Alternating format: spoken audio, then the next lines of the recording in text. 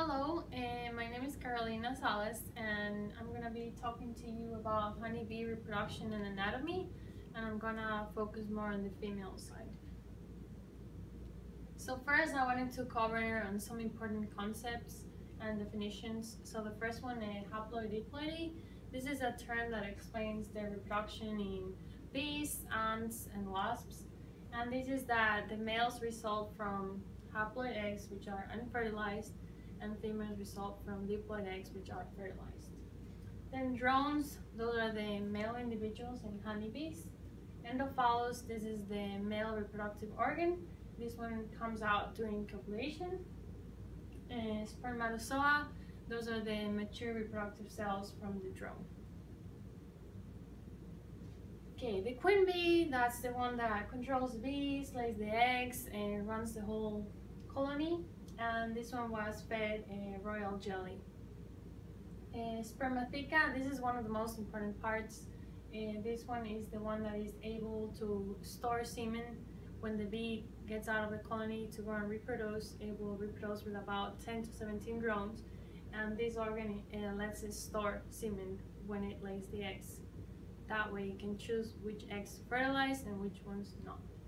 And then the worker bee, uh, this one has the same genetics as the queen, but this one was fed um, less royal jelly and was fed more brood food. Okay, so here you can see the anatomical differences more in size. You can see this is the worker, which was um, fed more brood food, and this one is the queen, which was fed more royal jelly, and this is a drone. Okay, so this was an image provided by Dr. Ellis in his in his lesson. So here you can see uh, the anatomy of a normal worker, a laying worker, and a virgin queen. So they, all of them have paired ovaries, and this is a laying worker. She can lay eggs, but all of those will be unfertilized, which will result into drones.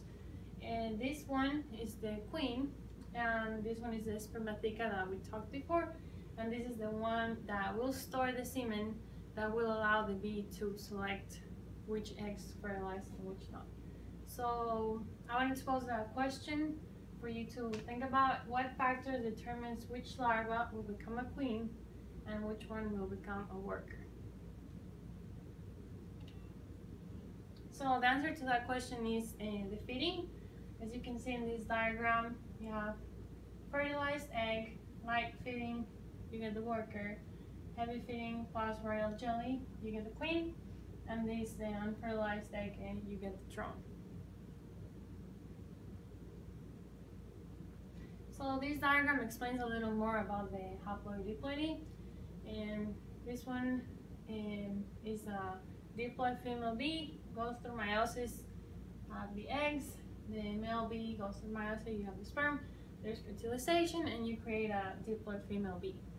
And whereas um, if the diploid female bee lays eggs and the bee chooses not to fertilize it, there's no fertilization and results into a haploid male.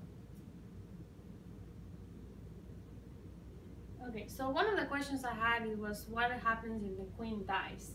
So it's important to remember there is this queen mandibular pheromone and this lets know the workers that the queen is present and that they need to be, no action needs to be taken. What I, uh, Dr. Ellis said in his lesson that after about four hours, if they, let's say the queen dies, after about four hours, the workers will note uh, decrease in this queen mandibular pheromone and they know they have to come up with another plan. So what they will do is feed of one of the larvae, they will feed the royal jelly to create a new queen so that they can keep from reproducing females. Because if the workers start laying bees, you're just gonna get drones. Okay, here are my sources. I hope this was helpful because this was a one of the topics that I had trouble with and good luck with your class.